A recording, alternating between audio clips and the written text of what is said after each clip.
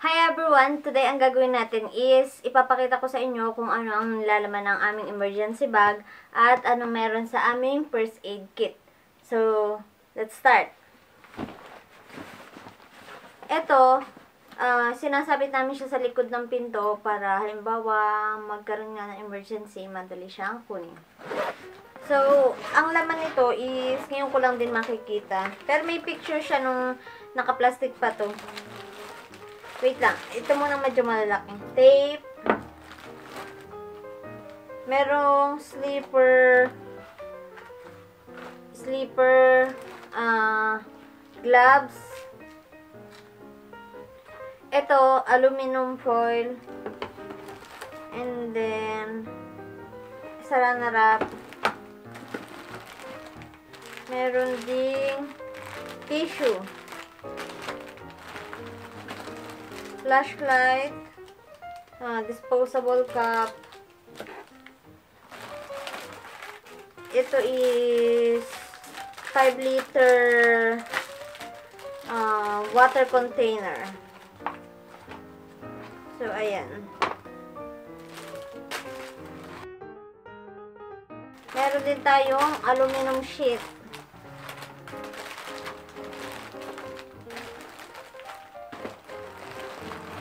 So, ayan. Simulan na natin itong dalawang pack. May dalawang pack. Meron tayong aluminum blanket. Ayan. Kita nyo ba? Yan. Aluminum blanket. And then, ito, tatlong piraso na poop bag. Uh, emergency toilet. Yun, taihan. And then, cotton buds meron din tayong two-way na screwdriver. Um, positive at uh, negative. Raincoat. Meron din tayong raincoat. Uh, meron din tayong raincoat. Hindi ko lang alam kung ilang piraso ang laman nito. Pero mukhang isa lang. And then, whistle. Cutter. Uh, uh, zip bag para sa money. Meron naman kaming ziplock dyan. And notes. So, ayan, meron din tayong small notebook at ballpen. So, yun lang naman ng isang uh, plastic. And then, ito naman is ziplock ulit.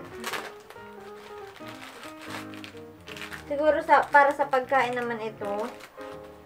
And then, face towel, face mask, um, meron din tayong air pillow. Ito yung ibablow mo pag gusto mo na siyang gamitin as unan. And, ito hindi ko alam. Sige, plastic eh. Plastic lang, 45 liters. Toothbrush tatlong pira tatlong pirasong toothbrush. Uh, disposable uh, plate and spoon. Spoon and fork. Meron ding limang chopstick. Lima, ah, apat lang pala. Ah, lima nga. Yun. Meron din tayong limang chopstick. Meron din tayong medicine kit. So, yun lang ang laman ng pangalawang bag. Pupunta naman tayo ngayon sa uh, first aid kit. Ngayon naman, ang ipapakita ko sa inyo is yung laman ng aming first aid kit. So, dito sa first layer, so, meron tayo ditong Serogan. Ito daw is gamot sa sakit sa tiyan. And then, uh, healing balm, mga pampahid sa mga masakit or pamparelax, pampatulog, ganun. Band-aid, band-aid. So, meron din tayo ditong thermometer. It, ito yung pang kilikilo or pang ilalim ng dila. Yung sa akin, sa ilalim ng dila lang talaga. Ito, ito naman, gamot sa kanya mata. Pag halimbawa yung parang tutubuan ng guli, guliti sa atin, Ayun, pinapatak niya to. At, ang kanyang mga nail cutter, merong side na nail cutter. Yung pang paa. Tapos, pang kamay. And then, eto, ngipin niya talaga. First time niya magpabunot ng permanent teeth, yun ay yung wisdom tooth. Kasi hindi tama yung tubo. Tsaka, wala na ding function dun sa pag-chew kasi hindi naman inaabot dun para hindi, naman umaabot dito yung pagkain pag nguya natin. Kaya yun, sabi nung doktor, mas mabuting tanggalin kaysa mabulok, masira, or magka-bacteria, tapos karoon pa ng infection. So, yun, pinatanggal na lang namin. Meron pa siyang tooth extraction next, next, next week. Kinip niya, ewan ko. Dito ata normal na kinukuha yung ngipin. And then, uh, contact lens. Ito naman, ay, ayaw makuha. Ayaw makuha. Ito, gamot to sa, yung pambabad sa contact lens. Balm and liquid band-aid. Ito yung parang nilalaminate yung sugat para okay lang mabasa. Tapos, mabilis siya mag-close. Ito naman, yung para, halimbawa, may kalyo, ganyan. Papatak mo lang tapos, uh, para maluluto or ipapatak mo lang para magnipis yung kalyo. And, ito parang betadine sa atin, pero may G dito. Yung pangmumog, yung halimbawa, may tonsillitis ka, ayun. Ito yung ginagamit namin pangmumog. Ayoko nga, eh, mas marikit ang lasa. And then, ito pag may rashes ako sa private part. And then, ito naman, yung pampahid sa kilikili, halimbawa, pinahid mo siya, tapos para magiging libag, tapos yung matatanggal mo, medyo puputi siya ng konti, ganun. This is healthcare. Kung gusto nyo makita kung ano yung nilalaman nito at kung paano gamitin, just comment down below. Oh, Ayun. no! Ito, ah, gamot ko to pag nag-menstruation ako, tapos medyo masakit, yung dysmenorrhea. Ayun. Pero hindi siya laging masakit. E- ito naman is salompas. Ito yung pinakang laki niya. Ayan. Sige, kuha tayo ng isa. Ayan, ganyan siya. Ah, Parang may tela. Parang may tela siya tapos, ano, ma, ma parang may foam na malambot siya. Tapos, um, malamig daw to sa una tapos, nainit din. And then, and then, meron ako dito nung pang, alam niyo yung ipinapatch dun sa paa. Pagka overnight, ganyan, ilalagay mo lang siya, tapos, ah, kinabukasan, nagba-brown siya, tapos, yun sabi nga, nakukuha yung mga toxic, ganun. Ayan, meron pa tayong tatlo.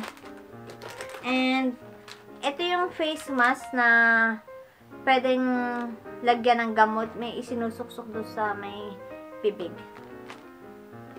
And, another face mask. Pambabae naman. Ito, panlinis ng contact lens.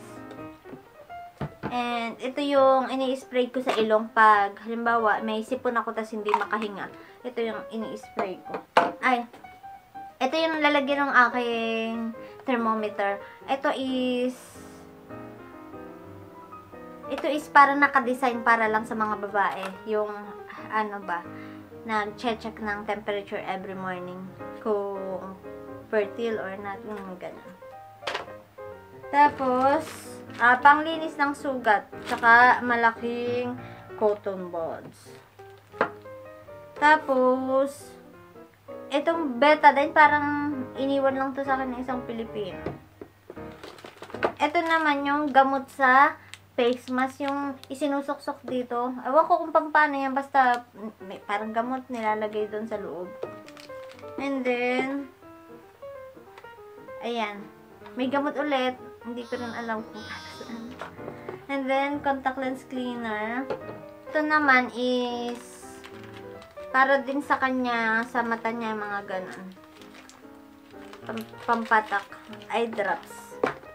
Ito, sobrang amoy nito. Ito, yung gamot naman to sa sakit ng tiyan. Sobrang baho niya. Hindi siya mabaho, sobrang tapang ng amoy. Alam niyo yung parang, basta hindi siya natatanggal agad sa kamay. Kaya, pag iinom ka, parang kumuha ka ng tatlo, ng ano, kutsarita, tapos kumuha ka ng tatlong piraso. Huwag mong hawakan kasi pag hinawakan mo talaga nakatig, nakadikit sa kamay yung amoy. Ang gamot dito, mababa ang dosage, tapos ito, iniinom siya, eh, tatlong gamot sa isang inuman. Ayun. Hindi ko na bubuksan at maamoy nga. Ito din, ano, sa sakit sa tiyan, halimbawa, parang din matunawan, ganun. Ito yung iniinom pagka yung masakit ang tiyan yung parang hindi natunawan. Meron din tayong, ah, gamot din to sa, sa, ano, ubo, sa, ubo, tonsillitis, ganyan. And then, another sa lompas. Mas maliit naman to. Ito, ito parang band-aid. Tatanggalin mo yung nasa gitna, tapos, tatanggalin mo to, i-attach mo na. Tapos, ito, yan. And, another set of band-aid. Parang kami pang hilot. Alam mo yung, ano, parang roll-on, pero, ano ba, may masakit. Ayun, pampahid yata to. And then, ito. Ooh. Hulaan nyo kung ano yon. Yun lang yung laman ng ating emergency bag at saka first aid kit. So, importante na meron tayo nito. Ito namang first aid, ito namang emergency bag, syempre, ipe-prepare mo pa rin. Lalagyan mo ng gamot, lalagyan mo ng tubig, uh, yung mga canned goods, ganun. Kaya, hindi siya, pag binili mo is, total lando na yung lahat ng kailangan mo. Syempre, yung mga kailangan mong gamot, hindi naman nila ilalagay doon ng basta may gamot. Syempre, inalagyan ng gamot, kung ano yung ano, karamdaman or kung ano man yung kailangan mong dalhin gamot, yun yung ilalagay mo doon. Tapos, at may ganito, syempre, dapat lagi pa ring ready.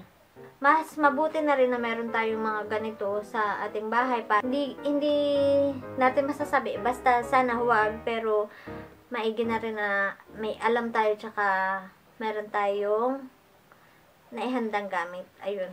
So, ayun, dito na, nagtatapos ang ating vlog. And then, kung may tanong kayo or kaya may suggestion, yun, pwede din kayong mag-comment. And, please subscribe. So, thank you for watching. Bye! Just